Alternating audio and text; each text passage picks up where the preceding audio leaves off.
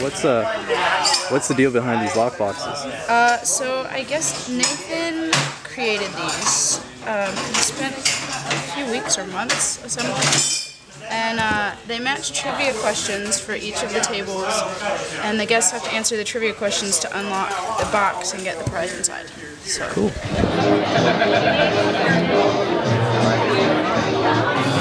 All right, number eight.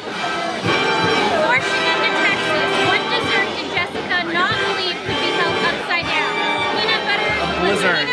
parfait, blizzard? It would have to be. Because I told her that. I was like, Jessica, you go to Texas, watch. It's almost like a custard, almost like a frozen custard. Yeah, And they turn it upside down for a solid five seconds do. and then hand it to you. What souvenir does Jessica keep stocked in her car? Plastic mustaches, small flowers, plastic lobsters, or Buddha?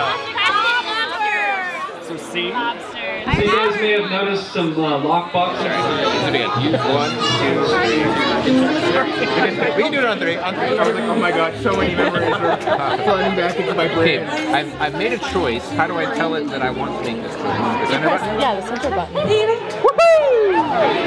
Three out of ten are correct. I thought it said that six out of ten were answers, Yeah. but that doesn't mean that they correct.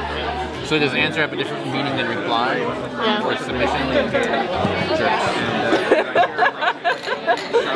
Is it Getting into those. Um, right here. They're in.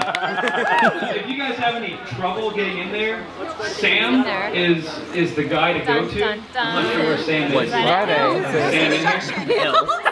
One tablet back there. at a time. Hey, oh, he's way over there. Anyway, if you have issues with getting in, see Sam. He's just waving his little hands over there by the, where ceremony that he's. Oh! Good luck getting in there. One at a time. What's going on? One and a half round. Okay. Can we get one and pass it down? I guess so. Hold on. Hold on.